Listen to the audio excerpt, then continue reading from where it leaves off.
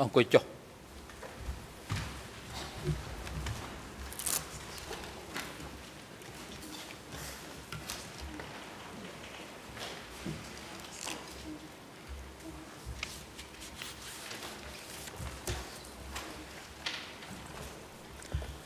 អង្គជំនុំជម្រះប្រកាសបន្តកិច្ចដំណើរការនីតិវិធីសមនាការតាមកាលវិភាគដែលបានរៀបចំទុក កាលពីចុងឆ្នាំ2012សមនាការនៅថ្ងៃនេះ អង្គជំរះនឹងបន្តសមនាការលើទរំរឿង002/01ដោយការស្ដាប់សក្ខីកម្មស័ក្តិសិទ្ធិហើយតាមកាលវិភាគសាក់សីដែលគ្រងកម្មកាលវិភាគស្ដាប់សមនាការ ស្ដាប់តក្កកម្មនៅថ្ងៃនេះគឺសាក់សីដែលមានហស្សនាម TCW 620ក្លាមជីសមនាការលោកដូចភរីឡើងរាយការណ៍ពីស្ថានភាពវត្តមានអវត្តមានភិក្ខីនិងបុគ្គលដែលអង្គជំរះក៏អញ្ជើញឲ្យចូលរួមនៅក្នុងកិច្ចដំណើរការសមនាការនេះ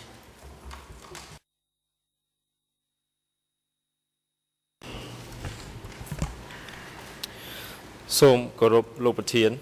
សម្រាប់សកម្មភាពថ្ងៃនេះគ្រប់ភាគីទាំងអស់នៃរឿងក្តីនេះមានវត្តមាន លើកលែងតែលោក Michael Canavas ដែលជាមេធាវីការពីក្តីអន្តរជាតិរបស់ក្រុមមេធាវីការពីក្តីអៀងសេរីអវត្តមានដោយសារមូលហេតុមានធុរៈផ្ទាល់ខ្លួន ចំណែកជនជាប់ចោតអៀងសេរី និងជនជាប់ចោតនួនជា មានវត្តមាន នៅបន្ទប់ឃុំខ្លួន នៅខាងក្រោមសាលសវនាការ ដោយមូលហេតុសុខភាពកលាមជីក៏សម្គាល់ផងដែរនៅវត្តមានរបស់លោក Victor Cope ដែលជាមេធាវីការពីក្តីអន្តរជាតិរបស់ក្រុមមេធាវីការពីក្តីនួនជាលោកកូពេត្រូវបានទទួលស្គាល់ដោយអង្គជំនុំជម្រះស្លាដំបងរួចហើយក្នុងអំឡុងពេលសវនាការក្នុងអំឡុងពេលសវនាការបឋមកន្លងមកចំណែកសាកសីដែលត្រូវផ្ដល់សក្ខីកម្មថ្ងៃនេះ គឺសាកសីដែលមានរហស្សនាម TCW 620សាកសីរូបនេះ មានវត្តមាន នៅ បន្ទប់រងចាំរងចាំការកោះហៅពីអង្គជំនុំជម្រះសាកសីរូបនេះ បានបញ្ជាក់ថា តាមសមត្ថភាពដែលគាត់អាចដឹង គឺគាត់មិនមានចំណងញាតលោហិត ឬញាតពន់ជាមួយនឹងជនជាប់ចោតទាំង3រូបឬ ដើមបណ្ដឹងរដ្ឋបវេនីណាមួយ ដែលបានទទួលស្គាល់នៅក្នុងសំណុំរឿងនេះនោះទេ សាកសីរូបនេះ បានធ្វើសម្បត្តិនៅចំពោះមុខរូបលោកតាដំបងដែកកាលពីពេលព្រឹកមិញរួចហើយសាកសីរូបនេះមិនមានមេធាវីប្រឹក្សានោះទេសូមអរគុណបាទអរគុណលោកផារីបាទជាដំបូងនេះមុននឹង ស្ដាប់ថៃកម្មស័ក្តិសិទ្ធិអង្គជំរះសម្រាប់ទៅបញ្ហាចូលរួមសកម្មភាពរបស់លោកនុនជានិងលោកអៀងសេរីជាមុនសិននៅថ្ងៃនេះអង្គជំរះបានទទួលរបាយការណ៍វិជ្ជបណ្ឌិតប្រចាំការនៅអបតកដែលពិនិត្យសុខភាពលោកអៀងសេរីនិងលោកនួនជា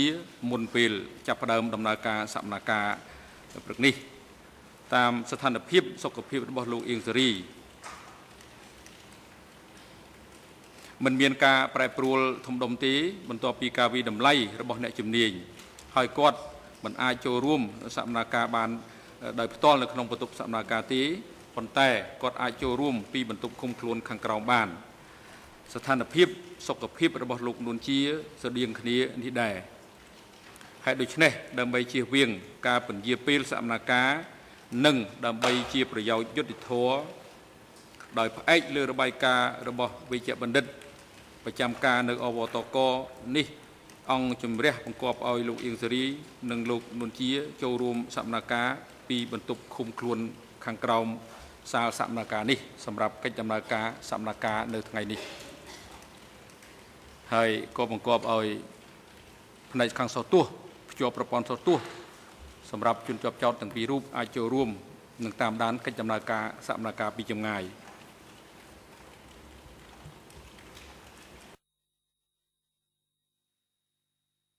បើជាបន្តមន្ត្រី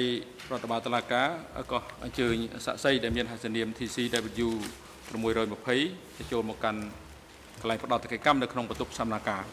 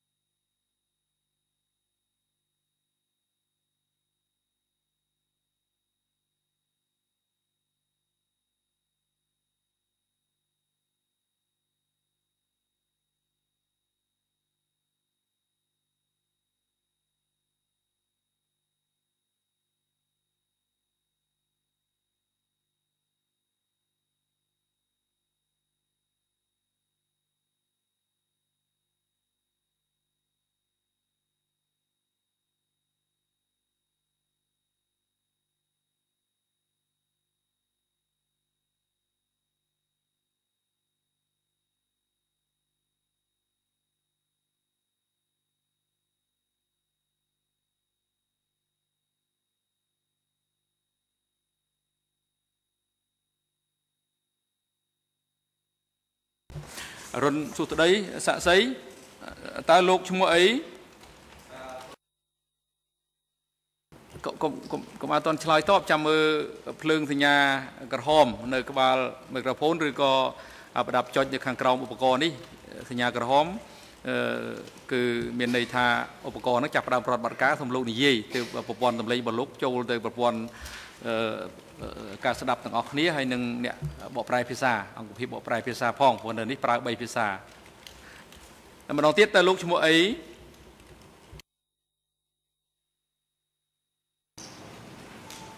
អឺសូមគោរពលោកប្រធានខ្ញុំបាទឈ្មោះសវិអរគុណលោកសវិក្រៅពីឈ្មោះសវិតើមានលោកលោកមានឈ្មោះហៅក្រៅផ្សេងទៀតដែរឬទេអឺខ្ញុំឈ្មោះ កំណើតឈ្មោះសសរឹមបាទ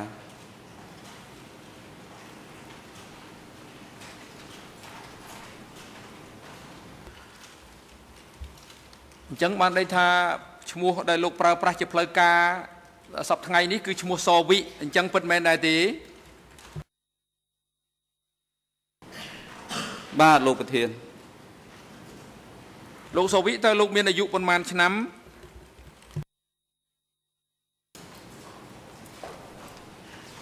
ខ្ញុំមានអាយុ52ឆ្នាំលោកមានទីកន្លែងកំណើតនៅទីកន្លែងណាដែរបាទកំណើតនៅភូមិព្រៃឥតឃុំពោអង្ក្រងស្រុកបរសែតខេត្តកំពង់ស្ពឺបាទអរគុណចុះទីលំនៅសប្តាហ៍របស់លោកតើលោករស់នៅទីកន្លែងណា បាទនៅភូមិអូជាក្រមឃុំស្ទឹងកាច់ស្រុកសាឡាក្រៅខេត្តបៃលិនអរគុណតើលោកប្រកបមុខរបររកស៊ីធ្វើអ្វីសប្តាហ៍នេះបាទខ្ញុំធ្វើចំការចុះឪពុកបង្កើតរបស់លោកឈ្មោះអីនិងម្ដាយបង្កើតរបស់លោកគាត់ឈ្មោះអីដែរ ឪពុកបង្កើតឈ្មោះសកឹមម្ដាយឈ្មោះស្វាយយុន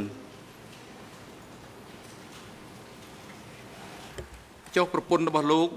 គាត់ឈ្មោះអីហើយលោកមានកូនប្រមាណនាក់បាទប្រពន្ធឈ្មោះខ្ញុំឈ្មោះណាំហ៊ុនមានកូន4នាក់បាទអរគុណលោកសូវិតាមរបាយការណ៍របស់កលាមជីសមនការ រាយការណ៍បាញ់មិញនេះថាតាមសមត្ថភាពដែលលោកអាចដឹងលោកមិនមានជាប់ចំណងញាតលោហិតញាតពន្ធជាមួយនឹងបុគ្គលទាំងឡាយដែលត្រូវបានទទួលយកធ្វើជាដើមម្ដងរដ្ឋប្រវេណីនៅក្នុងសំណុំរឿងក្តី002នេះទេហើយក៏មិនជាប់ញាតលោហិតឬញាតពន្ធជាមួយនឹងជនជាប់ចោតទាំង3រូបដែរគឺលោកនុនជា លោកអៀងសេរីលោកខៀវសំផនតើពិតមែនដែរឬទេបាទជាការពិត បាទអរគុណហើយតាមរបាយការណ៍របស់កលាមជីសមនាការដដែលនេះ ថាលោកបានធ្វើតំបត់នៅចំពោះមុខរូបសំណាកអ្នកតាដំបងដែករួចហើយមុនពេលចូលមកកាន់បន្ទប់សកម្មភាពនេះតើពិតមែនដែរឬទេបាទពិតមែនអរគុណលោកសូវិអឺយើងប្រាប់អំពីសិទ្ធិនិងករណីយកិច្ចក្នុងនាមលោកជាសាក្សីអំពីសិទ្ធិ លោកសូវិក្នុងនាមលោកជាសាក្សីនៅក្នុងកិច្ចដំណើរការនីតិវិធីសកម្មភាពចំពោះមុខអង្គក្នុងជំរះនេះលោកមានអឺសិទ្ធិបរិសេធក្នុងការឆ្លើយតបទៅនឹងសំណួរឬការធ្វើអំណះអំណាងណាមួយឬច្រើន ដែលនាំឲ្យដាក់ពិរុទ្ធភាពលើខ្លួនឯងគឺសិទ្ធិមិនធ្វើសក្ខីកម្មប្រឆាំងនឹងខ្លួនឯងមានន័យថាដោយសារតែចម្លើយឬអំណះអំណាង របស់លោកនោះ ដែលនាំឲ្យលោកនឹងត្រូវទទួលរងការចោទប្រកាន់អំពីករណីយកិច្ច ក្នុងនាមលោកជាសាក្សីដែលត្រូវផ្ដល់សក្ខីកម្មនៅក្នុងកិច្ចដំណើរការចំពោះមុខអង្គជំរះនេះលោកត្រូវតែឆ្លើយទៅនឹងសំណួរទាំងឡាយដែលភាគីឬចក្រមនៃអង្គជំនុំជម្រះសួរលោកលើកលែងតែករណីដែលលោកអនុវត្តនៅសិទ្ធិមិនធ្វើតក្កីកម្មប្រឆាំងនឹងខ្លួនឯងលោកជាសាក្សីត្រូវតែឆ្លើយការណាដែលពិត ដែលលោកបានដឹងបានឮបានឃើញបានចងចាំឬធ្លាប់មានបទពិសោធន៍ជួបប្រទះឬក៏បានធ្វើការសង្កេតដោយផ្ទាល់នៅព្រឹត្តិហេតុឬហេតុការណ៍ទាំងឡាយដែលពាក់ព័ន្ធទៅនឹងសំណួរដែលភាគីឬចក្រមនៃអង្គជំរះសួរលោកតើលោកយល់អំពីសិទ្ធិនិងករណីយកិច្ចនេះដែរឬទេលោកសូវីបាទយល់ បាទអរគុណលោកសូវិតើអឺកន្លងមកតើលោកធ្លាប់បានផ្ដល់កិច្ចសម្ភាសជាមួយនឹងអ្នកស៊ើបអង្កេតនៃការិយាល័យសហចក្រមស៊ើបអង្កេតដែរឬទេហើយប្រសិនបើមានតើការធ្វើសម្ភាសនោះប្រព្រឹត្តទៅប៉ុន្មានលើក នៅទីកន្លែងណានៅពេលណា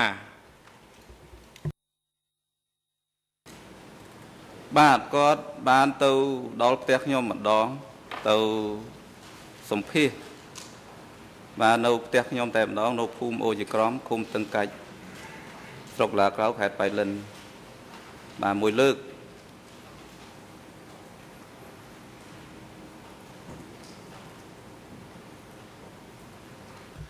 ហើយមុនពេលចូលមកចំពោះមុខអង្គជំរះនៅពេលនេះតើលោកបានពិនិត្យមើលឬក៏បានអានឬក៏ស្ដាប់ការអាន នៅកំកំណត់ហេតុអឺដែលលោកផ្ដល់កិច្ចសម្ភាស ជាមួយនឹងអ្នកស៊ើបអង្កេតនៃការរាយឡាយសហជីវក្រមស៊ើបអង្កេតដើម្បីរំលឹកការចងចាំដែរឬទេ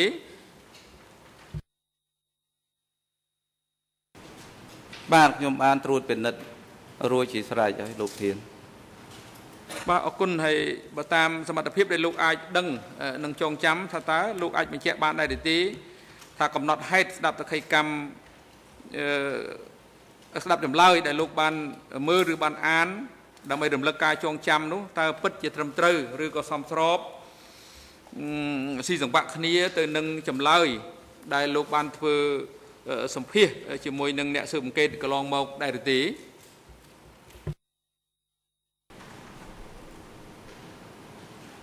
ខ្ញុំយល់ថាស៊ីសង្វាក់នឹងត្រឹមត្រូវបាទបាទអង្គជំរះសូមជម្រាប ជូនតំណាងសហប្រញ្ញាថានៅក្នុងកិច្ចដំណើរការនីតិវិធីសកម្មភាពពិភាក្សាដេញដោលស្ដាប់តក្កីកម្មស័ក្តិសិទ្ធិរូបនេះអង្គជំរះផ្ដល់ពីតិការជូនទៅតំណាងសហប្រញ្ញាតាំងទំនួលដេញដោលចំពោះស័ក្តិសិទ្ធិរូបនេះអឺមុនភាគីដទៃទៀតនៅរៀងក្តីសូមអញ្ជើញបាទ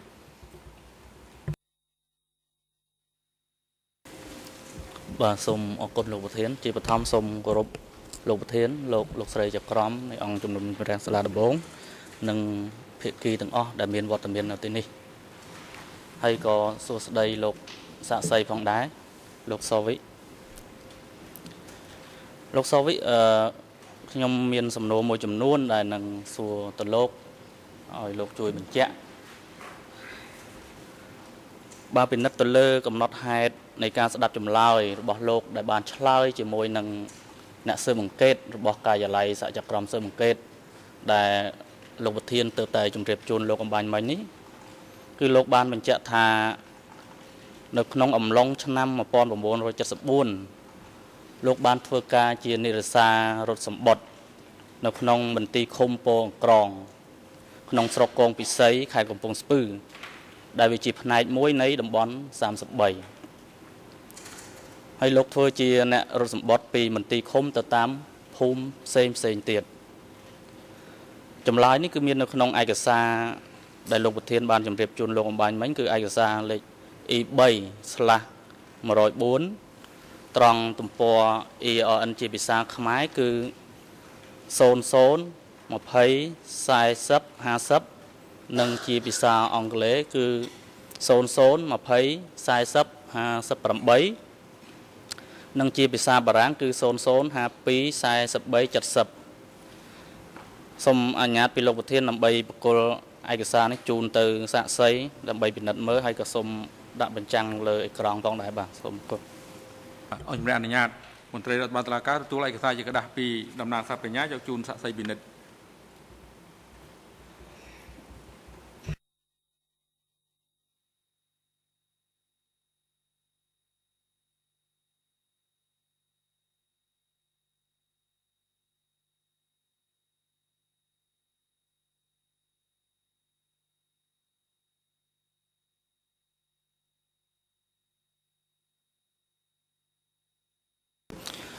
លោកប្រធានដោយសារសហការីរបស់ខ្ញុំបញ្ជាក់ថា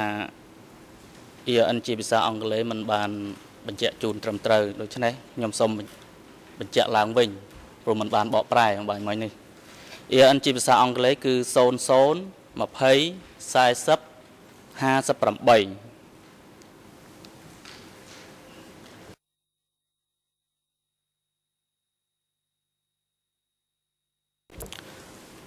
លោកសវិតើលោកនៅចាំទេថាស្រុកកងពិសីត្រូវបានកម្លាំងរបស់ខ្មែរក្រហមនឹងរំដោះនៅពេលណាដែរ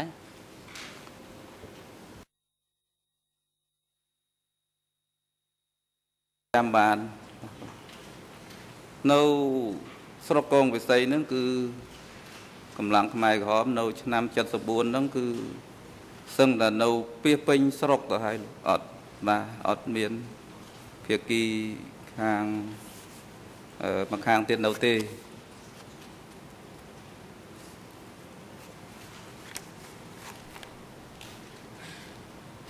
បាទអរគុណហើយលោកបានជម្រាបជូនអ្នកស៊ើបអង្កេតនៃការិយាល័យសហចក្រមស៊ើបអង្កេតដែរថាស្រុកកងពិសីហ្នឹងនៃខេត្តកំពង់ស្ពឺហ្នឹងហៅថាតំបន់33តើតំបន់33ហ្នឹងស្ថិតនៅក្នុងភូមិភាគអ្វីដែរ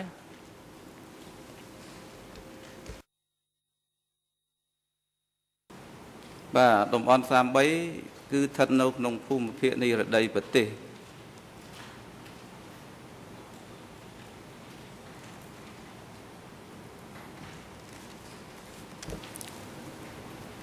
បាទអរគុណហើយនៅក្នុងកំណត់ហេតុដដែលនេះដែរលោកក៏បានបញ្ជាក់ថានៅក្នុងឆ្នាំ1975លោកត្រូវបានគេបញ្ជូនទៅធ្វើកងទ័ពស្រុកសំរោងបាន4ខែទើប គេដំឡើងធ្វើជាកងទ័ពតំបន់33នៅត្រង់ឯកសារជាភាសាអង់គ្លេសគឺឯកសារ E3/104 ត្រង់ជាភាសាខ្មែរគឺ00 20 40 50ជាភាសាអង់គ្លេសគឺ00 20 40 58ជាភាសាបារាំងគឺ00 52 43 71លោកនៅចាំទេថានៅឆ្នាំ 1975នោះក្នុងខែខែណាដែរដែលលោកឈប់ធ្វើជាអ្នករត់សម្បត្តិហើយទៅធ្វើជាកងទ័ពនៅស្រុកសំរោងនោះ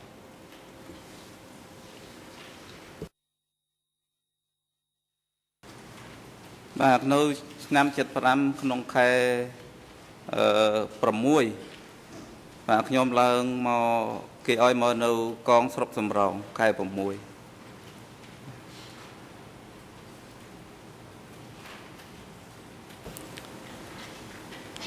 បាទអរគុណចុះអឺតើនរណាគេជាមេបញ្ជាការនៅក្នុងតំបន់33នៅពេលនោះ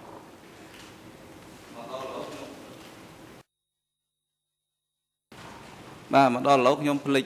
គាត់ហើយព្រោះយូរឆ្នាំហើយលោកធានអត់ចាំបានព្រោះនៅបានតិចខែដែរ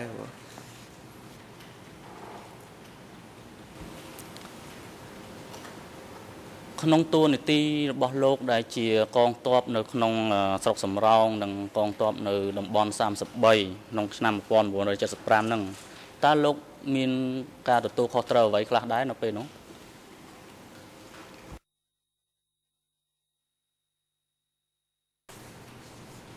បាទខ្ញុំជាយុទ្ធជនធម្មតា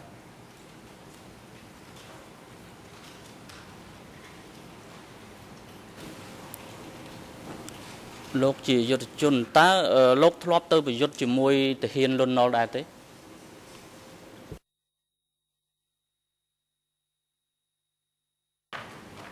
បាទនៅអំឡុងពេលហ្នឹងគឺយើងជាប់សង្គ្រាមបាទបាទ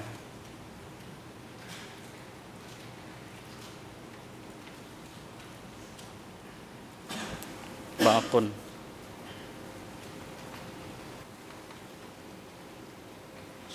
នៅថ្ងៃទី17ខែមេសា ឆ្នាំ1975នៅពេលនោះលោករស់នៅកន្លែងណាដែរហើយតើលោករស់នៅក្នុងស្រុកកងពិសីឬក៏ស្រុកសំរោងឬក៏នៅកន្លែងណាផ្សេង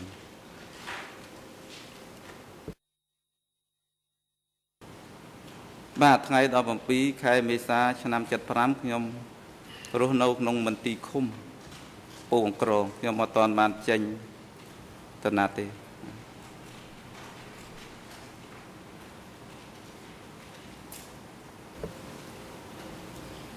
បាទអរគុណនៅក្នុងឯកសារ E3/104 ដដែលហ្នឹងគឺលោកបានបញ្ជាក់ថាពីឆ្នាំ1975ខ្ញុំឃើញប្រជាជនត្រូវបានជំលះទៅតាមខេត្តនិងជនបទឯកសារនោះគឺមាននៅត្រង់ទំព័រ EON ជាភាសាខ្មែរគឺ00 20 40 53ជាភាសាអង់គ្លេសគឺ00 20 40 61និងជាភាសាបារាំងគឺ00 52 43និង74លោកដឹងទេថាប្រជាជនដែលគេជំលះតាមខេត្តនោះតើលោកឃើញនៅកន្លែងណាដែរហើយថាតើពួកគេទាំងនោះធ្វើដំណើរមកពីខាងណាដែរ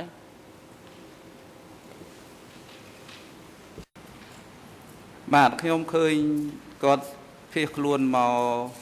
តាមផ្លូវលេខ3មកកាន់អឺស្រុកកងពិសីបាទឃើញឃើញច្រើនមុននឹងខ្ញុំអឺឡើងទៅកងស្រុកសំរងនៅពេលខ្ញុំឃើញគាត់គាត់មកច្រើននៅកងពិសីឯនៅទូទាំងប្រទេសខ្ញុំអឺអត់បានឃើញទេតែខ្ញុំបានស្មានប្រហែលជាដូចដូចគ្នានឹងហើយព្រោះ ការភៀសខ្លួននេះខ្ញុំបាទបាទអរគុណជននៅពេលដែលលោកឃើញប្រជាជនដែលត្រូវបានគេជំលះនៅស្រុកកងពិសីហ្នឹងពេលហ្នឹងលោកឃើញអឺប្រជាជនហ្នឹងមានស្ថានភាពយ៉ាងម៉េចដែរដែលប្រជាជនដែលគេជំលះហ្នឹង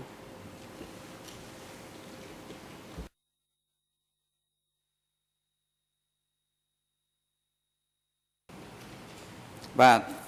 គាត់មកដោយមានខ្លះមានឡាន មានម៉ូតូបាទមានឡានមានម៉ូតូដែរហើយភាកច្រើនឃើញមកស្មើជើងនឹងច្រើនបាទ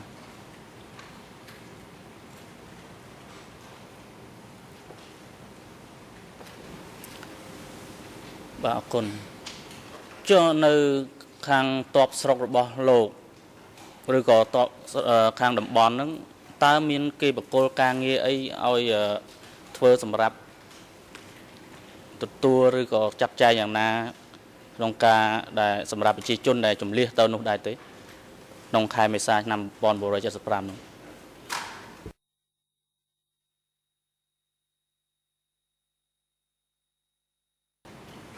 បាទកងទ័ពអត់មានតួនាទីអីរៀបចំទេបាទ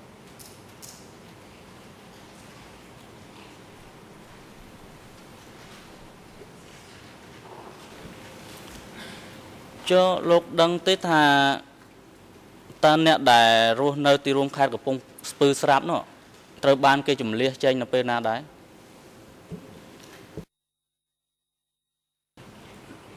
ខ្ញុំអត់ដឹងទេដល់ខេត្តពងស្ពឺ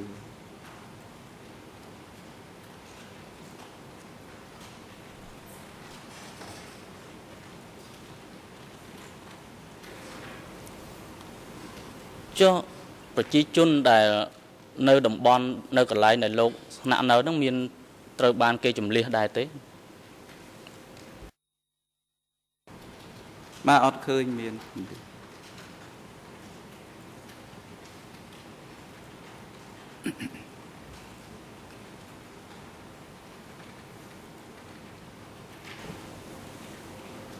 នៅពេលដែលប្រជាជនដែលត្រូវបានគេចម្លៀស មកដល់កន្លែងរបស់លោកតើលោកមានដឹងទេថាមានអឺកម្មាភិបាលឬក៏អឺអ្នកធ្វើការរបស់ខ្មែរក្រហមហ្នឹងចាត់ចែងយ៉ាងណាខ្លះចំពោះពួកគាត់ដែរ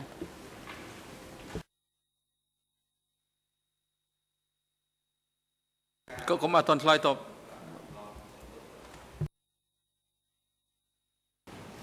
បាទពេលនោះខ្ញុំឃើញមានដែរមេភូមិមេឃុំអីគាត់ចាត់ចែងអី ចឹងទៅដែរនោះឲ្យរស់នៅភូមិនេះឃុំនេះអីចឹងខ្ញុំឃើញបាទឃើញមានទៅ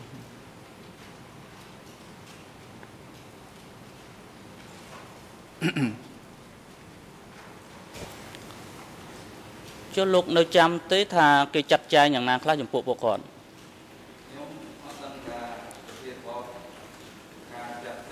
អត់តន់អាចឆ្លើយទេវាភ្លេច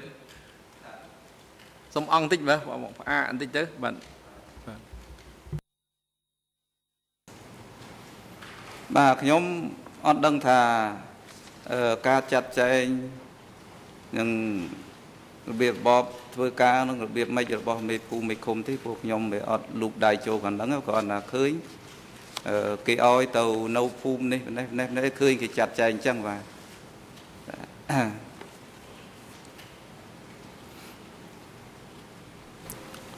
ចុះលោកមានដឹងទេថាអឺប្រជាជនដែលត្រូវបានគេចម្លៀសទៅទីនោះហ្នឹង គេតម្រូវឲ្យអឺផ្ដល់ប្រវត្តិរូបផ្ទាល់ខ្លួនដែរទេ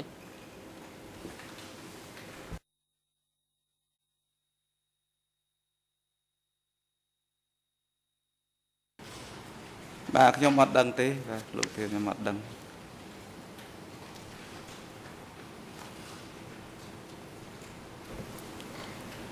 បាទអរគុណ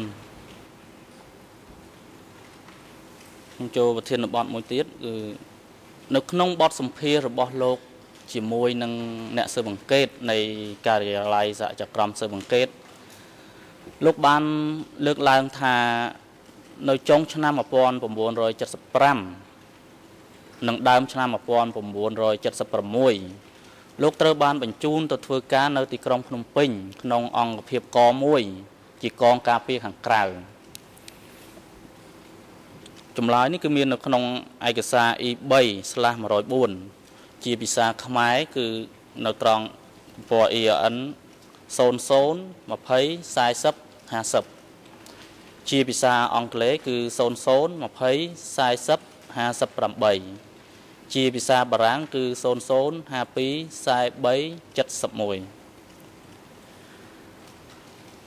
តើនៅពេលនោះនរណាគេជាអ្នកចាត់តាំងលោកឲ្យទៅធ្វើការនៅ កមួយនៅនៅទីក្រុងភ្នំពេញហ្នឹង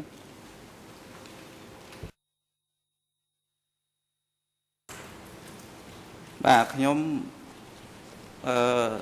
នៅកងតំបន់ខេត្តពងស្ពឺហ្នឹងអឺថ្ងៃមួយមានមេបញ្ជាការហ្នឹងគាត់ឲ្យទៅវាអត់ចាំឈ្មោះដែរឲ្យឲ្យឡើងមកភ្នំពេញហ្នឹងបាទមកមកចំមន្ទីរកមួយហ្នឹងមកអត់ចាំឈ្មោះគាត់ដែរ លេចឋានៈគាត់បញ្ជាការតបបាទបាទអរគុណជលោកនៅបន្តធ្វើការនៅ ទីក្រុងភ្នំពេញនៅកមួយហ្នឹងរហូតដល់ការដួលរលំនៃរបបកម្ពុជាប្រជាធិបតេយ្យនៅខែនៅដើមខែមករាឆ្នាំ1979ឬក៏យ៉ាងណាដែរ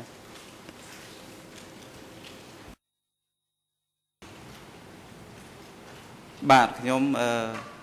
បន្តការរស់នៅរហូតដល់ខែមករាឆ្នាំ1979ពិតមែន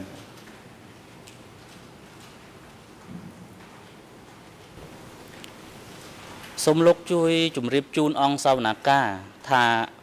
តើទីក្រុងភ្នំពេញ នៅ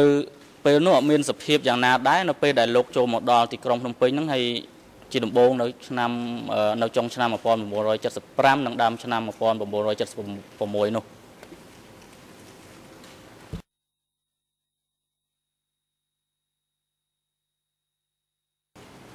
បាទខ្ញុំឃើញរស់នៅជាចំណុចចំណុចកន្លែងកន្លែងបាទមិនរស់នៅពីពេញទេវាចោលបាទឃើញឃើញកន្លែងដែលអត់នៅច្រើនច្រើនជាងនៅ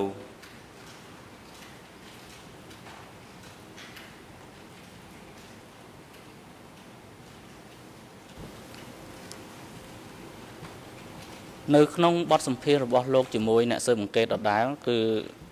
លោកបានលើកឡើងថា នៅពេលដែលលោកមកដល់ទីក្រុងភ្នំពេញលោកថាมันមានប្រជាជនរស់នៅទីក្រុងភ្នំពេញទេ ហើយពេលនោះឃើញមានតែកម្មកររោងចក្រកម្មាភិបាលក្រសួងមន្ទីរនិងកងទ័ពរស់នៅ គឺនៅឯកសារ E3/104 ត្រង់ទំព័រ EON ជាភាសាខ្មែរគឺ 00 20 40 53ជាភាសាអង់គ្លេសគឺ00 20 40 61និងជាភាសាបារាំងគឺ00 52 43 74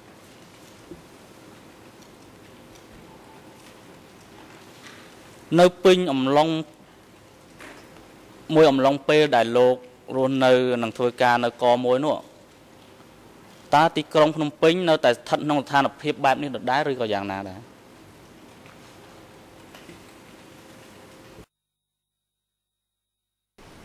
បាទអត់មានឃើញអីដែលប្រែប្រួលទេបាទចឹងដែល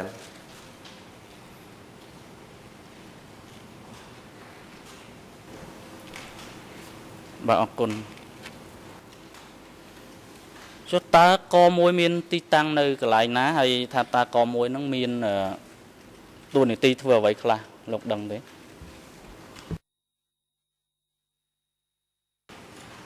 បាទទីតាំងកមួយហ្នឹងគឺស្ថិតនៅខាងត្បូងវាំងបាទចម្ងាយប្រហែលជា1គីឡូឬ2គីឡូតាមការស្មានបាទហើយតួនាទីក្នុងកមួយហ្នឹងគឺ អឺជាកន្លែងដែលពពតរស់នៅស្នាក់នៅជាអចិន្ត្រៃយ៍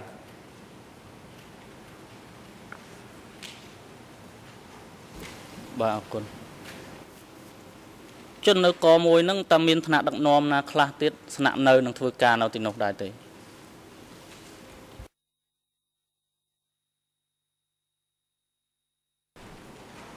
បាទខ្ញុំឃើញមានឋានៈដឹកនាំដូចជា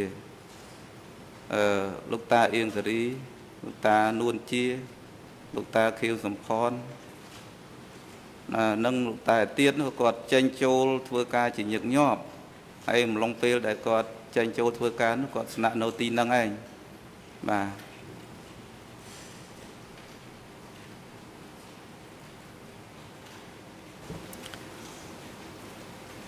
បាទអរគុណជនលោកឃើញលោកតាដែលលោកបានបញ្ជាក់មិញដូចជាអៀងសារីនួនជាខៀវសំផនហ្នឹងគាត់ចេញចូលកមួយហ្នឹងញឹកញាប់ទេរាល់ថ្ងៃឬក៏រាល់សប្តាហ៍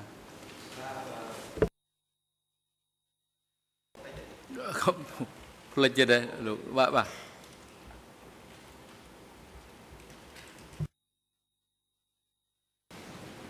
បាទសឹងតែរាល់ថ្ងៃ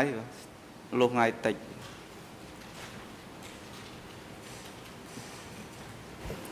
បាទអរគុណ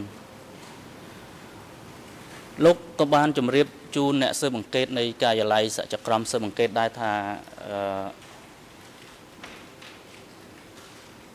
អង្គភាពកមួយគឺការពីឲ្យអមអមដូចជាពលពតនួនជាខៀវសំផននិងអៀងសារីគឺនៅឯកសារ E3/104 ត្រង់ទំព័រ EON ជាភាសាខ្មែរគឺ00 20 40 50 ជាភាសាអង់គ្លេសគឺ00 20 40 59និងជាភាសាបារាំងគឺ00 52 43 71ទូនីតិរបស់លោកដែលបម្រើការងារនៅក្នុងផ្នែកការពារនៃកមួយនេះតើទូនីតិរបស់លោកនៅពេលនោះគឺជាអ្នកការពារដល់ប៉ុលពតនួនជាអៀងសារី ខៀវសំផនិងថ្នាក់ដឹកនាំផ្សេងផ្សេងទៀតដែលស្នាក់នៅកមួយនោះដែរទេ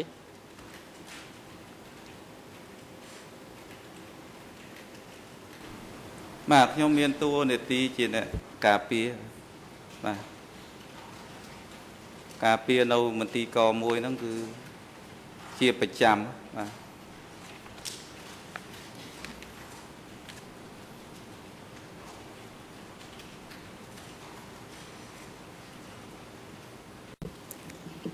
បាទបាទអរគុណ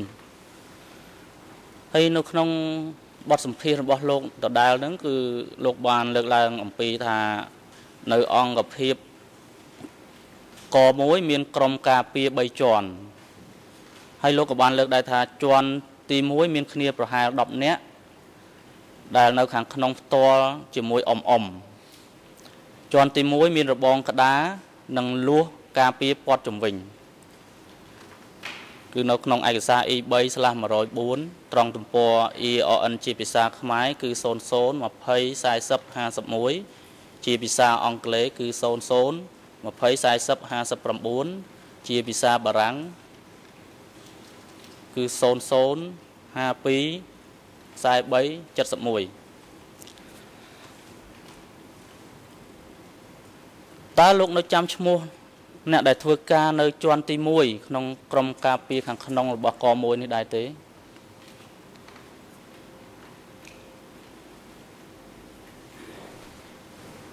បាទខ្ញុំចាំបានខ្លះតែភ្លេចខ្លះហើយ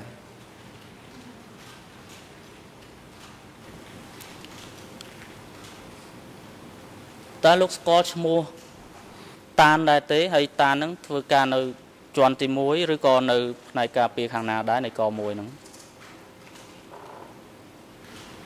បាទស្គាល់តានក៏ជាអ្នកទទួលខុសត្រូវរួមទាំងជាន់ទី1ទាំងជាន់ទី2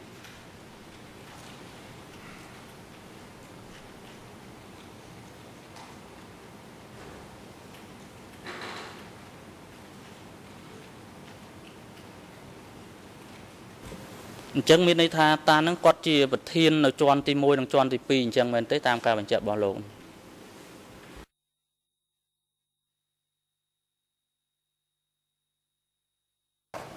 បាទមែន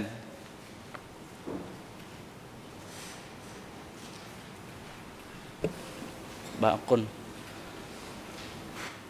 អឺនៅក្នុងបទសម្ភាសន៍របស់លោកជាមួយនឹងអ្នកស៊ើបអង្កេត នៃការិយាល័យសហចរក្រមស៊ើបអង្កេតដដែលហ្នឹងគឺ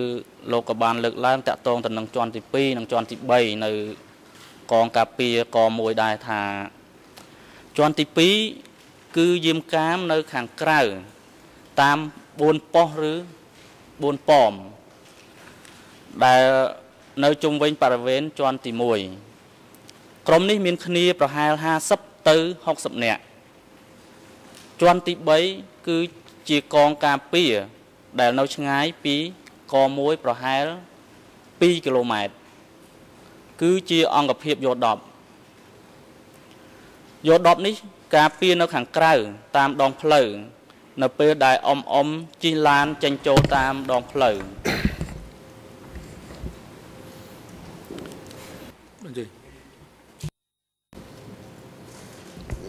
J'ai une objection, Monsieur le Président, parce que je sais bien que l'objectif de Monsieur le procureur n'est peut-être pas dans les détails qu'il rappelle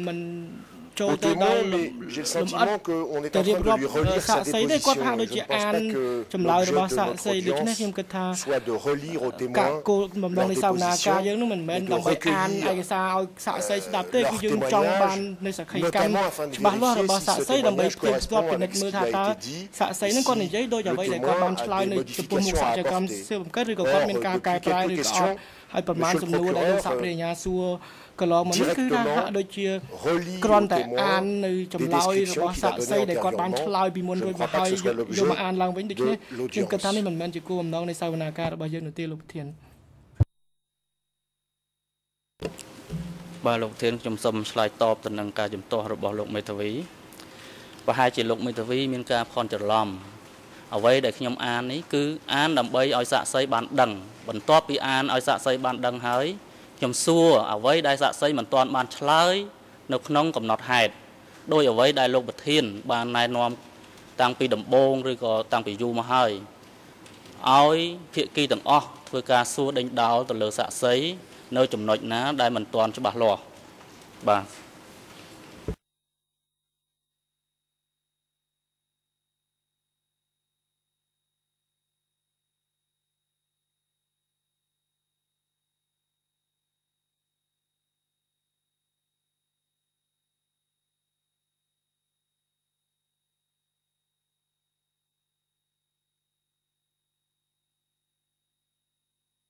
បាទសេចក្តីជំទាស់របស់មេធាវីការពីក្តីលោកគឺសំផនតែមិនសមស្របទេក្តីជំទាស់គ្មានប្រសិទ្ធភាពសាក់សីឆ្លើយតបទៅនឹងសំណួរដែលសួរឡើងដោយតំណាងសហប្រញ្ញាដែលសួរលោកអំបញ្ញមិញនេះប្រសិនបើលោកនៅចងចាំមិនចងចាំទេគឺតំណាងសហប្រញ្ញាតាំងសំណួរនេះជាស្រេចជាថ្មីបាទអង្គជំរះបានសម្រេចរួចហើយលោកមេធាវីចាំមានហេតុថ្មីសូមលោកអនុញ្ញាតឲ្យលោក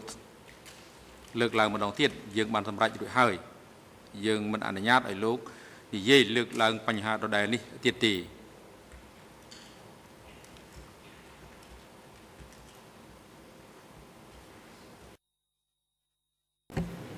យើងសម្រេចរួចហើយលោកមេធាវីអង្គុយចុះតំណាងថាបញ្ញាសួរសំណួរសាជាថ្មីម្ដងទៀត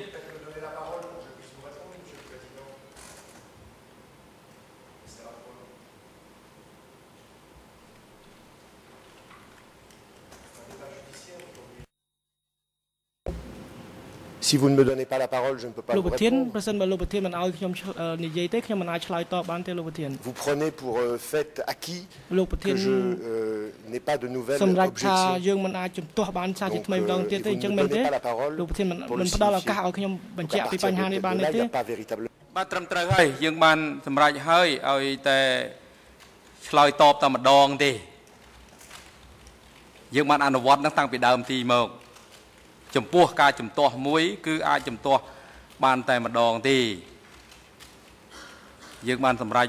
រួចហើយលើបញ្ហាអំបញ្ញមិញនេះ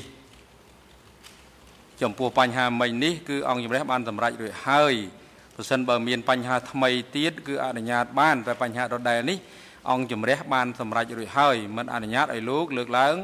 សារជាថ្មីទៀតទេលើបញ្ហាដដែលនេះ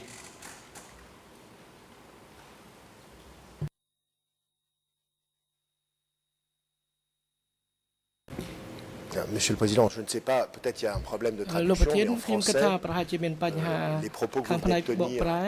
euh, avant de me couper le micro, enfin, sans me redonner la parole, avait l'air de, de proposer éventuellement de reprendre la parole, sauf si je voulais euh, reparler de la même chose. ខ្ញុំនិយាយលើកបញ្ហាដដែលខ្ញុំដូចជាមិនសូវយល់បើសិនបើបញ្ហាដដែលគឺខ្ញុំមិនអាចនិយាយបានទេប៉ុន្តែបញ្ហាថ្មីខ្ញុំអាចនិយាយបាន immédiatement face à une vraie difficulté យើងកំពុងតែប្រឈមមុខនឹងការលំបាក Se contentent de relire des dépositions témoins, សាប្រញ្ញាគាត់អានចម្លើយរបស់សាក់សីហើយសាក់សីគាត់ថាគាត់មិនបានចងចាំទេដូច្នេះខ្ញុំគិតថាតើមានប្រយោជន៍អីដែលយើងអានចម្លើយរបស់គាត់ពីមុនហើយសួរគាត់នោះបើមិនសិនជាគាត់មិនចាំផងនោះ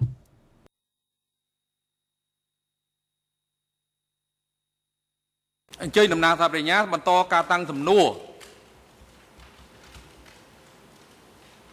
លោកសួរឬ បាទអរគុណលោកប្រធានខ្ញុំបញ្ជាក់សំណួរឡើងវិញដោយសារបាញ់មិញនេះខ្ញុំមិនទាន់បានអានចប់នៅឡើយដោយសារតែមានការជំទាស់របស់មេធាវីការពារលោកខៀវសំផនខ្ញុំបានសួរលោកអំបញ្ញមិញដោយអានឲ្យលោកស្ដាប់នៅក្នុងចម្លើយរបស់លោក នៅជាមួយនឹងអ្នកស៊ើបអង្កេតនៃការិយាល័យសច្ចក្រមស៊ើបអង្កេត ដែលលោកបានលើកឡើងតាក់ទងទៅនឹងជាន់ទី1និងជាន់ទី2នៅកងការពារក1ដែលលោកថានៅជាន់ទី2គឺយាមកាមនៅខាងក្រៅមាន4ប៉ុស្តិ៍ឬប៉មដែលនៅជុំវិញបរិវេណជាន់ទី1ក្រុមនេះមានគ្នាប្រហែល50ទៅ60នាក់ជាន់ទី3គឺជាកងការពារនៅឆ្ងាយពីកន្លែងកមួយប្រហែល2គីឡូម៉ែត្រគឺជាអង្គភាពយោ10យោ10នេះ ការពារនៅខាងក្រៅតាមដងផ្លូវនៅពេលដែលអមអមជិះឡានចេញចូលតាមដងផ្លូវយោ10នេះមានប្រធានឈ្មោះខាំមី ដែលបានបាត់ខ្លួនតាំងពីឆ្នាំ1979ហើយក្រុមនេះមានចំនួន ប្រហែលវរៈសនាតូច100នាក់គឺនៅក្នុងឯកសារ E3/104 ត្រង់ទំព័រ EON ជាភាសាខ្មែរគឺ00 20 40 51ជាភាសាអង់គ្លេសគឺ00 20 40 59និងជាភាសាបារាំងគឺ00 52 43 71សំណួររបស់ខ្ញុំគឺចង់ដឹងថាតើចំពោះរូបលោកផ្ទាល់នេះលោកធ្វើការនៅជាន់ទីប្រមាណដែរជាន់ទី2ឬក៏ជាន់ទី3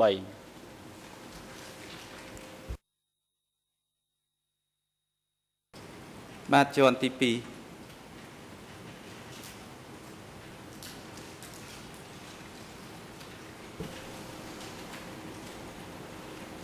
នៅជាន់ទី2ហ្នឹងតើជាទូទៅលោកឈរជើងនៅទីតាំងណាមួយនៃកមួយហ្នឹងលោកអាចជម្រាបជូនអង្គសាវនាការបានទេ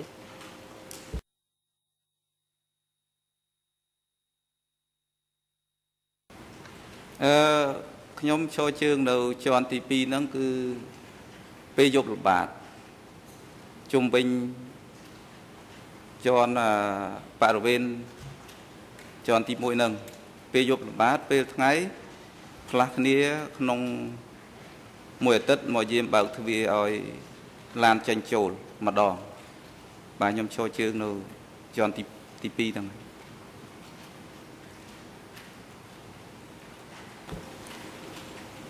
តើលោកឈរជើងនៅជាន់ទី2ហ្នឹងរហូតពេញមួយអំឡុងពេល ដែលលោកទៅធ្វើការហ្នឹងចាប់តាំងពីដើមខែអឺ ចាប់ពីចុងខែឆ្នាំ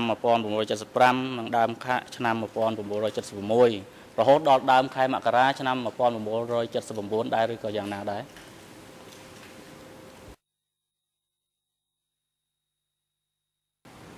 បាទឈរជើងរហូតបាទ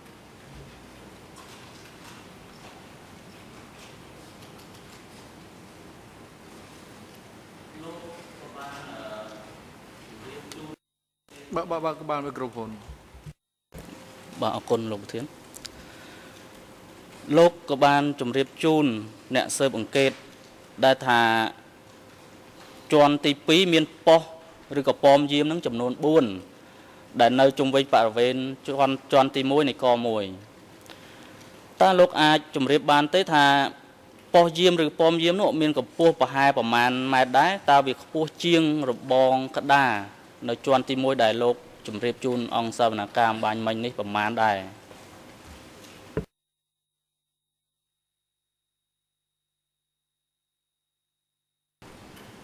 បាទខ្ញុំជម្រាបជូនបានអឺប៉ុស្តិ៍ប៉មទាំង4នឹងមានកម្ពស់2ម៉ែត្រទៀបជាងរបងអឺដែលបាំងបាទ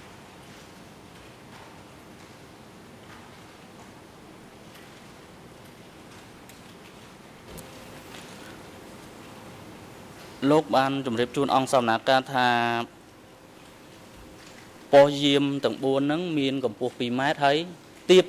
ជាងរបងក្តារតើតើនៅពេលដែល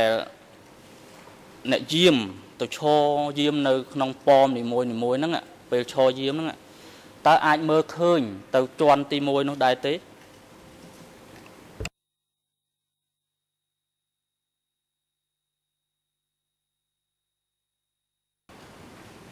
បាទអត់ឃើញទេបាទ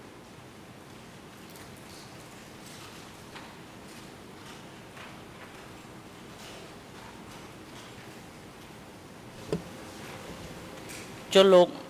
នៅចាំទេថាក្នុងប៉មយាមនីមួយនីមួយហ្នឹងត្រូវបានគេចាត់តាំងឲ្យអ្នកទៅយាមហ្នឹងប្រហែលអ្នកដែរបាទ5នាក់ប៉មួយមួយពេលថ្ងៃ5នាក់5នាក់គ្រប់ប៉មួ យថ្ងៃផ្លាស់គ្នាម្ដង ផ្លាស់ហូបបាយធម្មតា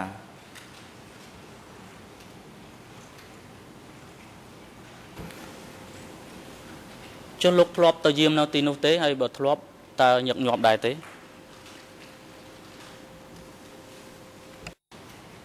បាទខ្ញុំធ្លាប់តែមិនសូវញឹកញាប់ទេព្រោះខ្ញុំ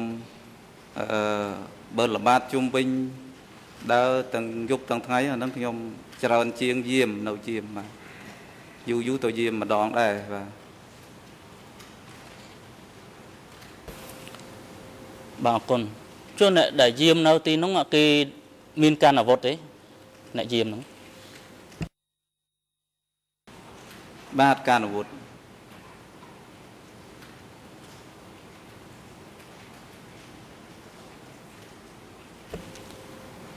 នៅអំឡុងពេលដែលលោកធ្វើការនៅក្នុងអង្គភាពកមួយហ្នឹងអង្គភាពការពារនិកមួយហ្នឹងតើនរណាគេជាថ្នាក់លើរបស់លោកដែលលោកត្រូវរាយការណ៍ជូនគាត់ហើយក៏លោកត្រូវទទួលបញ្ជាពីគាត់ហ្នឹងលោកអាចជម្រាបជូនអង្គសវនការបានដែរទេបាទជម្រាបជូនបាន គឺវាមានតាមលំដាប់ថ្នាក់តានទទួលខុសត្រូវរួម ក៏ប៉ុន្តែបន្ទាប់ពីតាននោះមានមេក្រុមមេកងអញ្ចឹងបើអឺការយាមព្រឹត្តិការណ៍មួយថ្ងៃមួយថ្ងៃនោះគឺត្រូវរាយការណ៍5មេក្រុមនិងមេកងសិនបាទ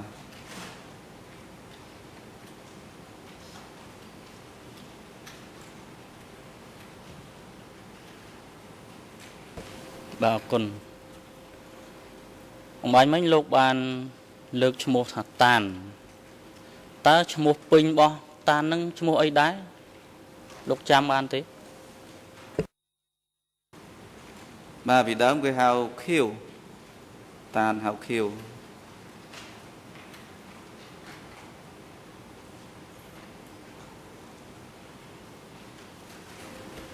តើលោកស្គាល់តកូលរបស់លោកតានដែរទេបាទអត់ចាំ លោកអត់ចាំជឿខ្ញុំ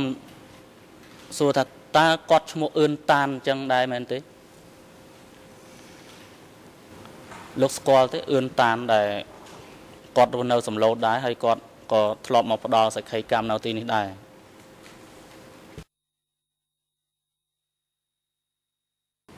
បាទអឿនហ្នឹងតាមខ្ញុំចាំប្រពន្ធគាត់ទេឈ្មោះអឿន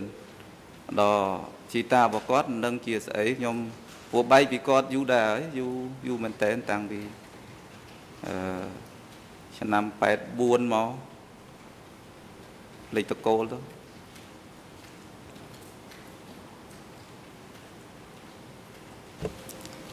ចុះលោកធ្លាប់ដឹងថាគាត់នឹងតាននឹងគាត់ធ្លាប់មកផ្ដល់សក្ខីកម្មនៅសាលាក្តីខ្មែរក្រហមយើងនេះដែរទេ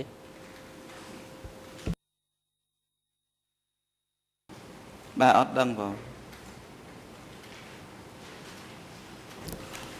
បាទអរគុណអឺនៅក្នុងបទសម្ភាសរបស់លោកជាមួយនឹងអ្នកស៊ើបអង្កេតនៃការិយាល័យសហចក្រមស៊ើបអង្កេតដែរគឺលោកក៏បានលើកឡើងពីឈ្មោះម្នាក់ទៀតគឺឈ្មោះសុតដែលជាអនុប្រធានរបស់អង្គភាពការពារនៅកមួយហ្នឹងសូមលោកជម្រាបជូនអង្គសមាការថាតើអឺសុតដែលលោកនិយាយនៅក្នុងបទសម្ភាសហ្នឹងតើឈ្មោះពេញគាត់ឈ្មោះអ្វីដែរឈ្មោះថាថាសុតអញ្ចឹងមែនទេ ព្រោះថាថាសុតហ្នឹងគាត់ធ្លាប់មកធ្លាប់រស់នៅសំឡូតកន្លងមកហើយគាត់ទៅតែស្លាប់ប្រហែលជា2 3ឆ្នាំនេះទេតើឈ្មោះសុតហ្នឹងអញ្ចឹងដែលលោកនិយាយហ្នឹងមែនដែរទេបាទឈ្មោះហ្នឹងឈ្មោះសុតហ្នឹងហើយតែក៏អត់ចាំតកូលអត់នៅតែអត់ចាំតកូលគាត់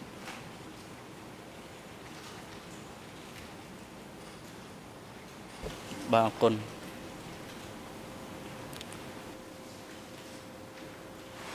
នៅក្នុងឯកសារ E3/104 ហ្នឹងលោកក៏បានបញ្ជាក់ថាលោកបានឃើញនួនជាអៀងសេរីខៀវសំផនចេញចូលកមួយហ្នឹងញឹកញាប់នៅត្រង់ទំព័រ EON ជាភាសាខ្មែរគឺ00 20 40 51ជាភាសាអង់គ្លេសគឺ00 20 40និងជាភាសាបារាំងគឺ 00524372តើនៅពេលដែលលោកឃើញលោកនួនជាអៀងសេរីខៀវសំផននៅកមួយហ្នឹងលោកនៅកន្លែងណាដែរ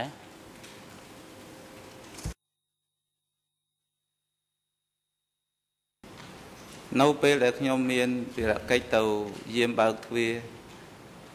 បាទរយៈពេលដែលខ្ញុំយាមនោះមាន5ថ្ងៃមួយអាទិត្យអីចឹងខ្ញុំឃើញគាត់ចេញចូលញឹកញាប់ចន្លោះថ្ងៃតិច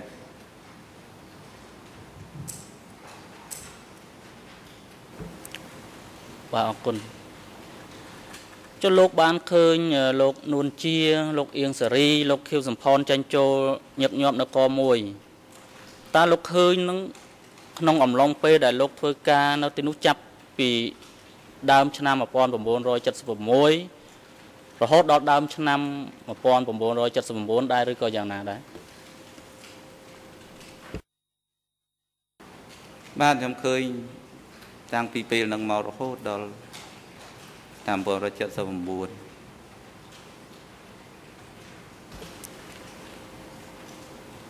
បាទគុណ ចុះលោកអាចជម្រាបជូនអង្គសវនការបានទេថាលោកនួនជាលោកអៀងសេរីលោកខៀវសំផនហ្នឹងគាត់ធ្វើដំណើរចូលមកដល់កមួយហ្នឹងដោយមធ្យោបាយអីដែរដោយឡានឬក៏ដោយអីផ្សេង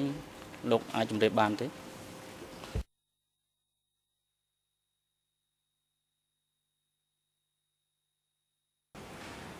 បាទដោយឡាន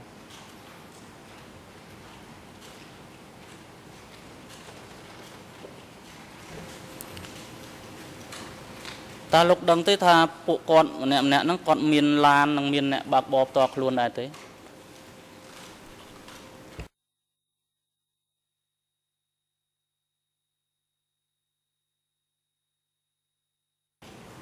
បាទជាឡានរបស់គាត់ហើយអ្នកបើកបរឡានក៏ជារបស់គាត់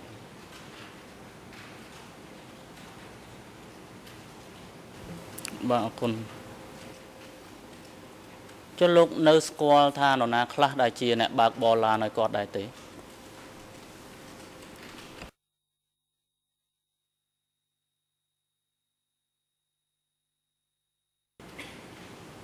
បាទខ្ញុំឃើញខ្ញុំចាំបានអឺពីរមួយអ្នកបើកឡានរបស់ លោកតាខៀវសំផននោះគឺឈ្មោះសឿនបាទពីរទៀតអ្នកបើកឡានរបស់នួនជាគឺ ចំណាំឃើញសុតនឹងតែម្ដងគាត់បើកគាត់បើកធ្លាប់បើកឲ្យជាប់ដែរបន្តមកទៀតមានអ្នកផ្សេងជំនួសតែអត់ចាំអត់ចាំទេអត់ចាំឈ្មោះហើយឡានរបស់លោកតាអៀងសេរីខ្ញុំអត់ចាំទេអត់ចាំហើយក៏អត់ស្គាល់ដែរបាទអរគុណ ចឹងនៅពេលដែលលោកនួនជាលោកអៀងសេរីលោកខៀវសំផនហ្នឹងគាត់ជីឡានមកដល់កមួយហ្នឹងតើឡានរបស់គាត់នឹងឈប់នៅតាណាដែលដើម្បីដាក់គាត់ចុះហើយហើយឡាននៅពេលដែលទទួលទៅទទួលនៅកន្លែងណាដែរលោកនៅចាំបានទេ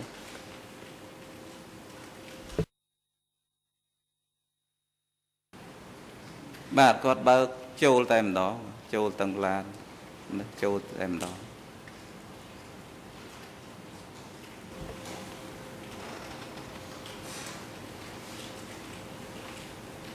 តើលោកអាចបញ្ជាក់ឲ្យច្បាស់បន្តិចបានទេថាចូលទៅខាងណាដែរ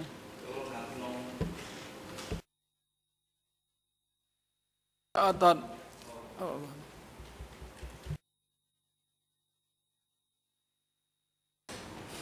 ចូលខាងក្នុងរបងអត់មានចុះទៅទទួលទៅអីកន្លែងណាគាត់បើកចូលតែម្ដង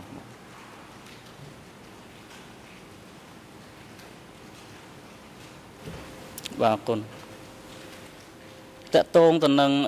ក3តើលោកអាចជម្រាបបានទេថាក3ហ្នឹងជាអ្វីហើយលោកធ្លាប់ទៅកន្លែងក3ហ្នឹងឬក៏ធ្លាប់ទៅធ្វើការនៅក3ហ្នឹងដែរទេ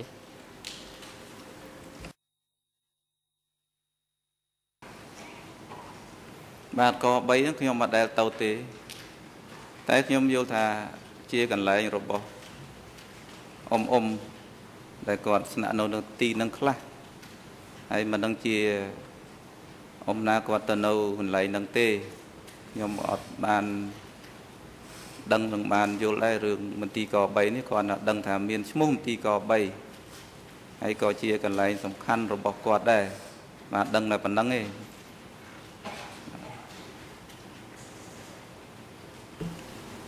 ចុះការងាររបស់លោកនៅក1តើលោកធ្វើការនៅក1ហ្នឹងអឺមួយថ្ងៃហ្នឹងប្រហែលម៉ោងដែរ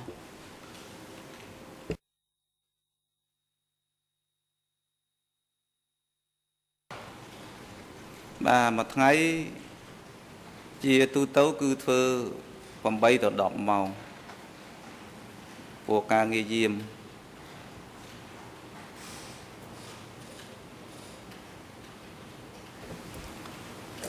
ចុះកន្លែងដែលស្នាក់នៅ និងកន្លែងហូបចុករបស់លោកនៅតាណាដែរ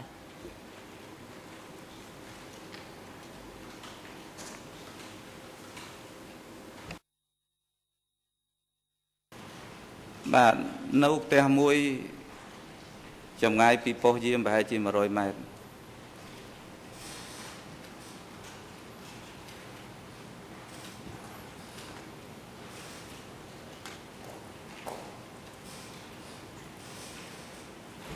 បាទអរគុណនៅក្នុងបទសម្ភាសន៍របស់លោកជាមួយនឹងអ្នកស៊ើបអង្កេត នៅក្នុងឯកសារ E3/104 ដដែលហ្នឹងគឺលោកបាន លើកឡើងតាក់ទងទៅនឹងកិច្ចប្រជុំរៀនសូត្រដែលធ្វើនៅក1ថាខ្ញុំតែងតែឃើញបងបងមកពីភូមិភាគតំបន់ស្រុកមកធ្វើការនៅក1ដូចជារៀនសូត្របើកវគ្គជាញឹកញាប់ជារៀងរាល់3ទៅ6ខែម្ដង ម្ដងមានរយៈពេលប្រហែល1អាទិត្យឡើង បន្ទាប់មកទៀតលោកបាននិយាយថា ខ្ញុំគ្រាន់តែដឹងថាមានមកពីគណៈតំបន់ភូមិភាគស្រុកមកប្រជុំនៅត្រង់ទំព័រ EON ជាភាសាខ្មែរគឺ00 20 40 51ជាភាសាអង់គ្លេសគឺ00 20 40 59ជាភាសាបារាំងគឺ00 52 43 72 តើលោកដឹងទេថាលោកនួនជាខៀវសំផនអៀងសេរីហ្នឹងមានវត្តមានក្នុងកិច្ចប្រជុំនគរមួយដែលកម្មាភិបាលមកពីគណៈតំបន់ភូមិភាគនិងស្រុកនោះដែរទេ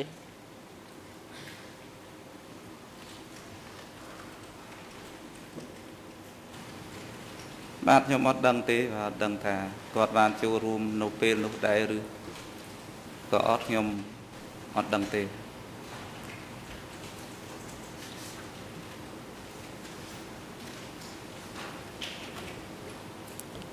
បាទអរគុណចុះនៅពេលដែលកម្មាភិបាលមកពីភូមិភាគមកប្រជុំនៅកមួយហ្នឹងតើគេយកអ្នកការពារផ្ទាល់របស់គេមកពីភូមិភាគមកមកឬក៏ក្រុមការពារនៅកមួយជាអ្នកការពាររបស់ពួកគេនៅពេលដែលគេមកប្រជុំនឹងនៅកមួយហ្នឹង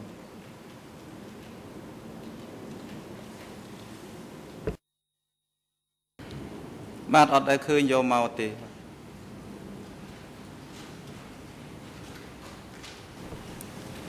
អរគុណដោយសារតែលោក មានទូនីតិជាអ្នកការពារគ្រប់ថ្នាក់ដឹកនាំនគរមួយហ្នឹងតើថ្នាក់លើរបស់លោកធ្លាប់បានជូនដំណឹងរបស់លោកដែរទេតើនៅពេលដែលថ្នាក់ដឹកនាំភូមិភាគតំបន់ឬក៏ស្រុកមកហ្នឹងមកប្រជុំនៅកមួយម្ដងម្ដងហ្នឹងតើថ្នាក់ដឹកនាំរបស់លោកថ្នាក់លើរបស់លោកធ្លាប់ជូនដំណឹងទៅលោកដែរទេមុននឹងពួកគេមក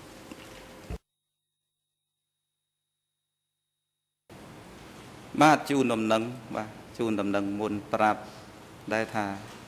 ពួកគាត់មកពីភូមិភាគមកធ្វើការអញ្ចឹងគាត់ជូនដំណឹងមុនដើម្បីឲ្យយើង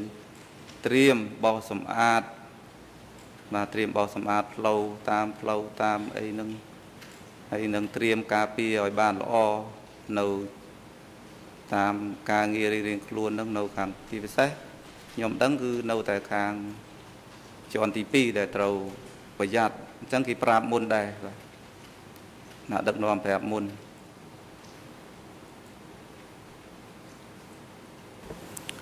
ចុះនៅអំឡុងពេលដែលមានឋានៈដឹកនាំនៅតាមភូមិភាគតំបន់ស្រុកមកប្រជុំនៅកមួយហ្នឹងតើមានមានក្រុមការពារណាផ្សេង ពីក្រុមការពាររបស់លោកមកជួយការពារបន្ថែមទៀតដែរទេ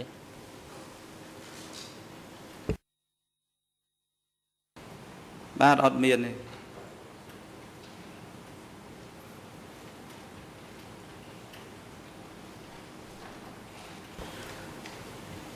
ជឿនៅពេលដែលអ្នកដឹកនាំភូមិភាគតំបន់ឬក៏ស្រុកនឹងចូលមកមន្ទីរកមួយធម្មតាចូលមកតាមច្រកមានច្រកនឹងតាមមាននរណាគេជាអ្នកទទួលខុសត្រូវក្នុងការត្រួតពិនិត្យអត្តសញ្ញាណថា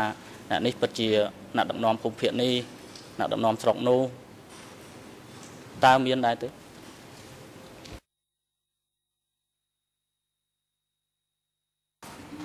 បាទអត់មានទេ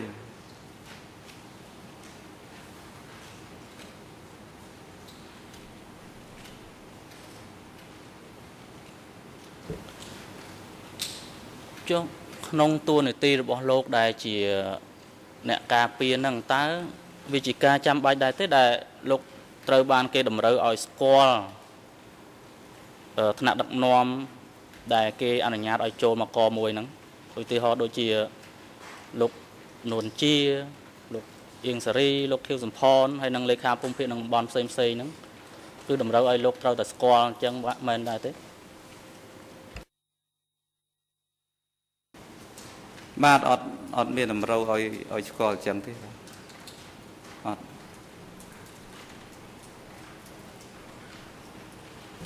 បាទអរគុណតើលោកនៅចាំទេថាអឺតើមានថ្នាក់ដឹកនាំភូមិភាគតំបន់ឬក៏ស្រុកណាខ្លះដែលធ្លាប់ដែលលោកធ្លាប់ឃើញ ទៅកមួយនៅពេលដែលលោកអឺធ្វើការនៅពេលនោះតើលោកអាចចាំបានរហូតដល់ពេលនេះទេ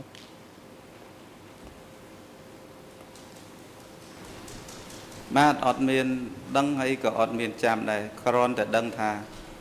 នៅថ្ងៃទីប៉ុណ្ណេះគឺមានថ្នាក់ដឹកនាំពីភូមិភាគផ្សេងផ្សេងនិងតំបន់ផ្សេងផ្សេងមកធ្វើការក្នុងកមួយគាត់តែដឹងថ្ងៃបាទហើយឲ្យយើងនឹងសម្អាតអីដូចខ្ញុំបានរៀបរាប់ខាងលើហ្នឹងនឹងត្រៀម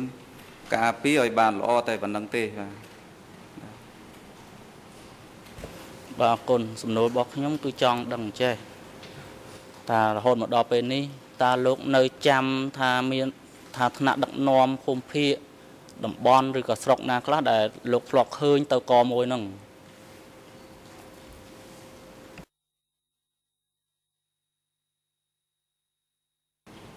បាទកាលនោះអត់អត់ដឹងថាមកពីណាពីស្រុកណាខេត្តណាទេហើយក៏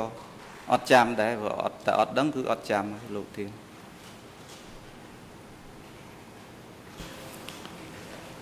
ចុះលោកស្គាល់តមុកដែរទេគាត់ធ្លាប់ទៅកមួយនឹងញឹកញាប់ដែរទេ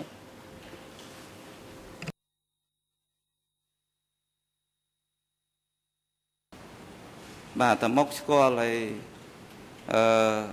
ខ្ញុំក៏មិនដែលសូវបានចាប់អារម្មណ៍នៅពេលដែលគាត់ទៅទេទៅកមួយទេអត់ដែលឃើញចេញឈូលអីផងទេគាត់ប៉ុន្តែស្គាល់គាត់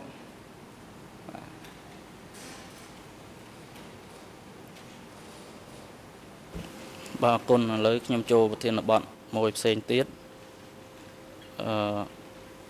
អំឡុងពេលដែលលោកធ្វើការនៅកមួយតើលោកធ្លាប់ចូលរួមប្រជុំស្វ័យតិទានឬក៏ចូលរួមវគ្គរៀនសូត្រនយោបាយអីដែរទេ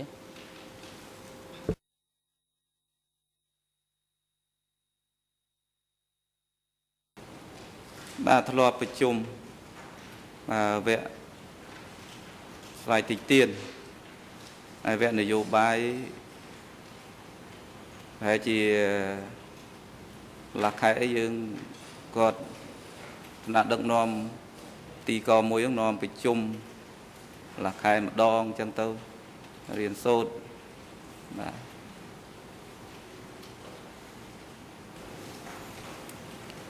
ចុះលោកនៅចាំទេថាអឺ កន្លះខែម្ដងរៀនសូត្រនឹងកន្លះខែម្ដងធ្វើក្នុងរយៈពេលប្រហែលថ្ងៃដែរ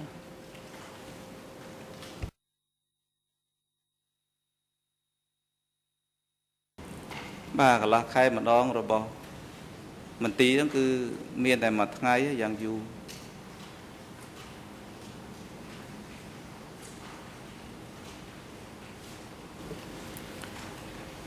ចូលលោកនៅចាំទេថាកន្លែងទីកន្លែងដែលរៀនសូត្រហ្នឹងនៅតាណាដែរ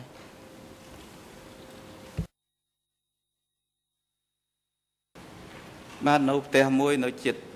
ប៉ុស្តិ៍ប៉មជាន់ទី1ហ្នឹងបាទនៅចិត្តហ្នឹង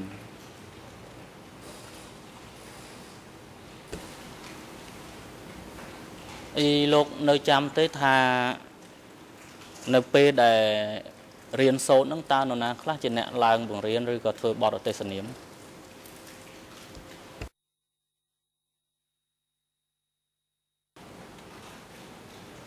បាទឈ្មោះតានហ្នឹងគាត់អ្នកពងរៀននឹងឡើងអទេសនាម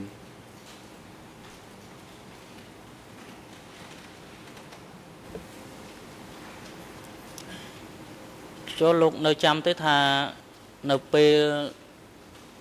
រៀនសូត្រឬក៏ធ្វើបទអទេសនាមហ្នឹងតើគេនិយាយពីអ្វីដែរ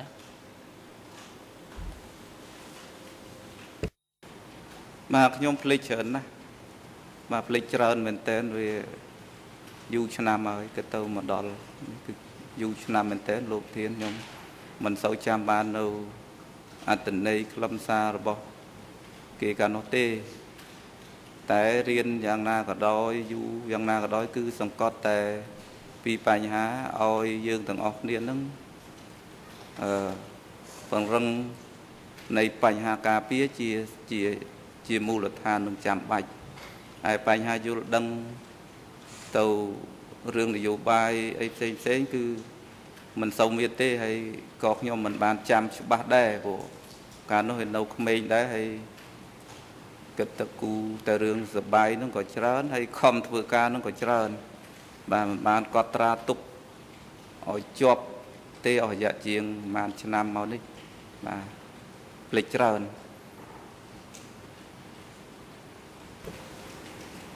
ចុះអឺមានពេលណាខ្លះដែរទេ ដែលលោកធ្លាប់ទៅអឺប្រជុំឬក៏រៀនសូត្រនៅបរិយាកីឡាដែរទេ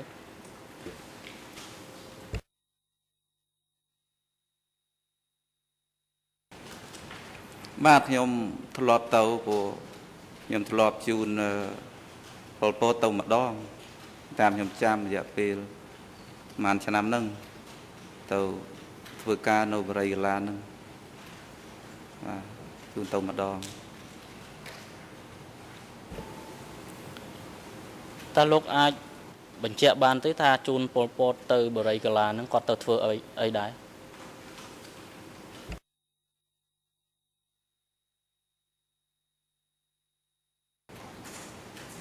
ពេលនោះខ្ញុំឃើញកងទ័ពមកពីអឺខេត្តពីភូមិភាគមកច្រើនគាត់ទៅធ្វើការមិនដឹងថ្នាក់ណាទេខ្ញុំមិនដឹងទេគឺមកធ្វើការថ្ងៃដែលខ្ញុំជូនទៅហ្នឹងគឺឃើញឃើញមានកងទ័ពសុទ្ធបាទអត់មានអីលាយទេមានកងទ័ពសុទ្ធដែលទៅធ្វើការនៅទីហ្នឹងបាទ ចុះនៅពេលធ្វើការហ្នឹងមានឋានៈដឹកនាំណាខ្លះនៅកមួយក្រៅពីពលពតដែរទេ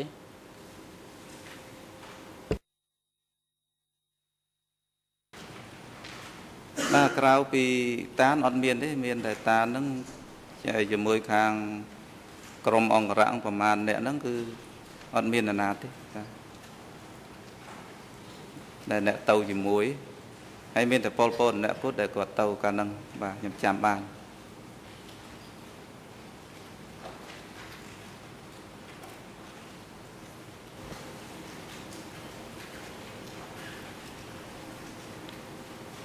ចុះតកតងទៅនឹងកិច្ចប្រជុំស្វ័យតិទៀនឬក៏ប្រជុំតិទៀនហ្នឹងតើលោកធ្លាប់ចូលរួមប្រជុំនៅក្នុងអង្គភាពរបស់លោកដែរទេ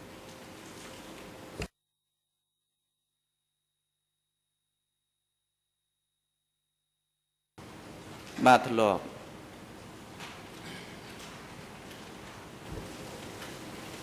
ហើយ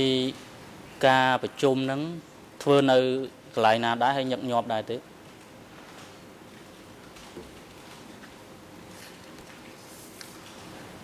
បាទអឺធ្វើនៅជាន់ទី2នៅផ្ទះមួយនៅចិត្តប៉ោះប៉មហ្នឹងដែរហើយធ្វើអស់រយៈ3ថ្ងៃគឺធ្វើម្ដង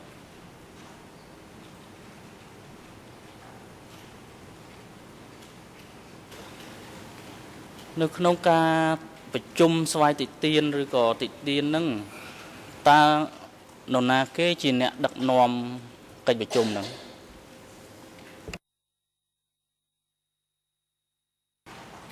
បាទឋានៈមេក្រុម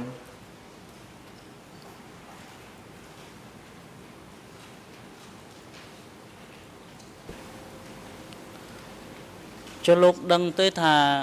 គោលបំណងនៃការប្រជុំស្វ័យតិទៀនឬក៏តិទៀនហ្នឹងគឺមានគោលបំណងអ្វីដែរ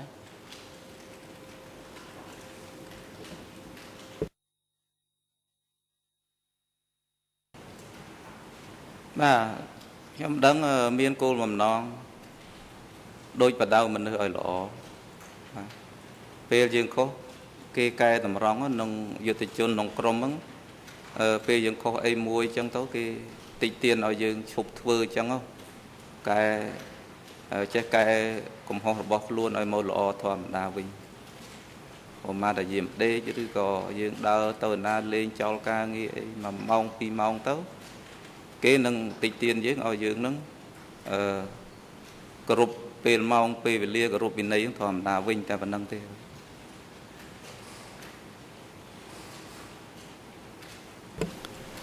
ចុះនៅអំឡុងពេលដែលលោកមកដល់ទីក្រុងភ្នំពេញដំបូងគឺលោកធ្វើការនៅអង្គភាពកមួយដែលជាកងនៅក្នុងកងការពារខាងក្រៅតើលោកធ្លាប់បានចូលរួមប្រជុំកិច្ចក្នុងក្នុងកិច្ចប្រជុំធំធំឬក៏ពិធីផ្សេងផ្សេងឬក៏ការថ្លែងសន្ទរការសន្ទរកថាផ្សេងផ្សេងដែលធ្វើឡើងនៅ Start Olympic ដែរទេបាទអត់ដែលទៅ អត់ដែលធ្វើ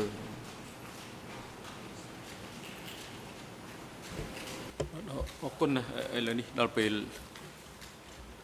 សម្រាប់ហើយឲ្យមកប្រកាសសម្រាប់20នាទីចាប់ពីពេលនេះទៅទៅរហូតដល់ម៉ោង11ខ្វះ10នាទីសូមអញ្ជើញចូលវិញដើម្បីបន្តកិច្ចដំណើរការដំណើរការមន្ត្រីរដ្ឋបាលតុលាការរំរួលផ្ដល់កន្លែងសម្រាប់នៅបន្ទប់រងចាំសម្រាប់សាក់សីអ្នកជំនាញដល់សាក់សីរូបនេះនៅក្នុងឡុងពេលឈប់សម្រាក នឹងឲ្យអញ្ជើញគាត់ត្រឡប់មកកាន់កន្លែងផ្ដល់សកម្មនៅក្នុងបន្ទប់សកម្មភាពនេះវិញនៅវេលាម៉ោង11ខ្វះ10នាទីសម្រាប់ចុះសូមអញ្ជើញក្រោកឈរ